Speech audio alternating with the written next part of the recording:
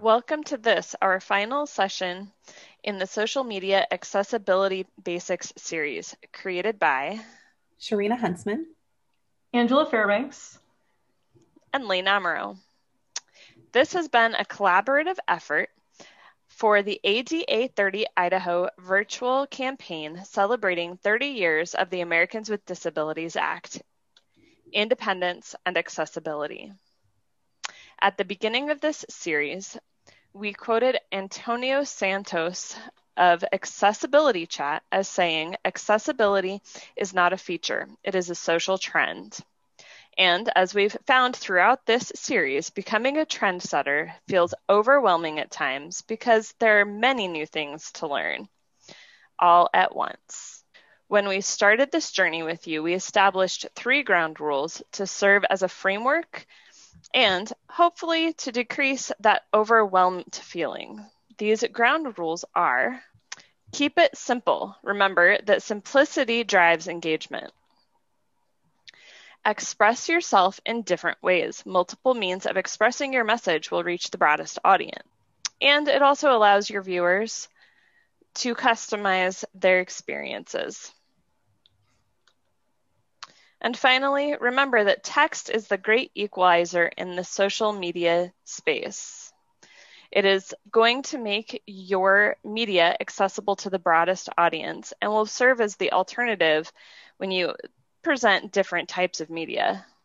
Keeping messages simple starts with plain language and organizing your information clearly with descriptive titles and sections.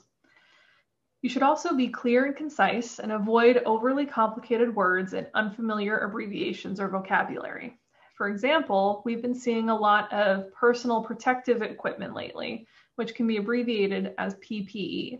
You should clarify that in your post. You should also know your audience and what they need and design your content for them. Your audience has diverse needs and preferences. Some people enjoy listening to podcasts or watching videos, while others enjoy reading text. Providing a video, as well as a text tutorial with images for something like how to fold a paper airplane, is a great way to express the same message in different ways. The type of media you use to express your message will always depend on the content and your core audience. If you write a blog to share your thoughts on a topic, it is not absolutely necessary that you record a video to share the same message. If you record a podcast or a vlog to share your message, though, it's important to know that recordings, whether audio only or video, may not be accessible to your entire audience.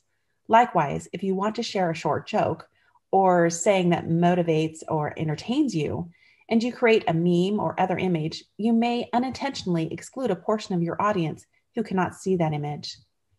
Text is going to help you make each means of expression video, audio, images, or graphs accessible to the broadest audience. Alt text and text alternatives provide access to images for blind and low vision audiences. When writing alternative text, prioritize the information um, based on the importance of details that convey the purpose and meaning of the images in the context of your post. For example, when you include a personal or company logo in a post about a training you're offering, the alt text might simply read com- company name logo and the remainder of the post text will provide details about the training. But if you are unveiling a new company logo to your audience, you might provide greater details about the logo in the alt text while including something like, check out our new logo in the post text. You can use text alternatives to give detailed descriptions to provide greater context when appropriate. This may be the best solution when you are sharing something displaying numbers or data, such as a chart or a graph. Captioning and transcripts serve as a different method for providing access to the audio recording like a podcast or a video. They make the content accessible in text for those who may not hear it and provide greater context and understanding to all other audience members. Captions, whether open or closed, are synchronized with the stream or recording. This allows viewers to read text as the words are spoken or as sounds occur in the stream or recording. Closed captioning is the ideal, as it allows people to turn the captions on or off as needed.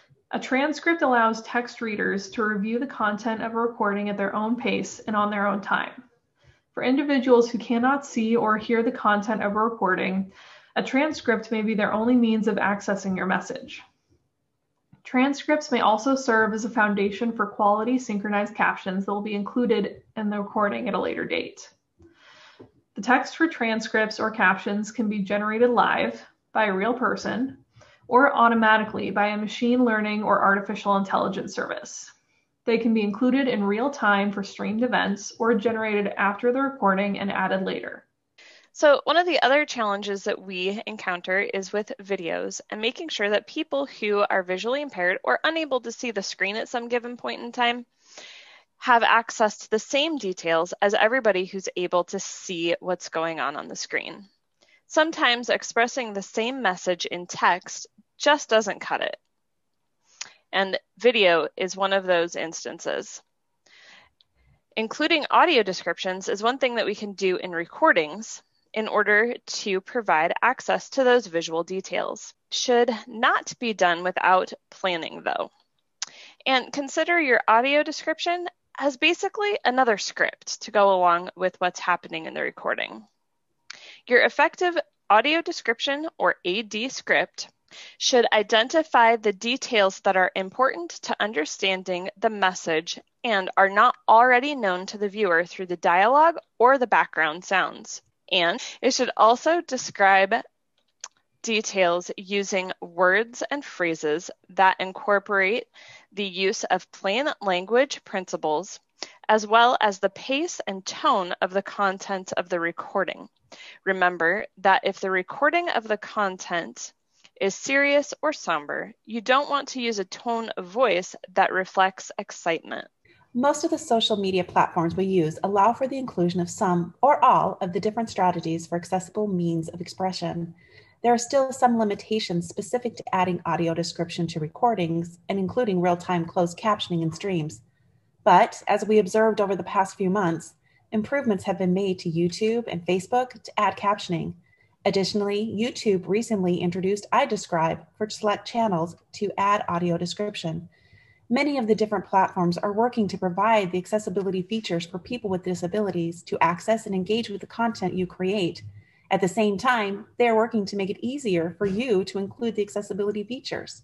Thank you for joining us on this journey. We are thrilled you are going to be among today's accessibility social trend centers. Be sure to check out our other social media accessibility basics videos for more tools and strategies and join us in creating a culture of accessibility in social media.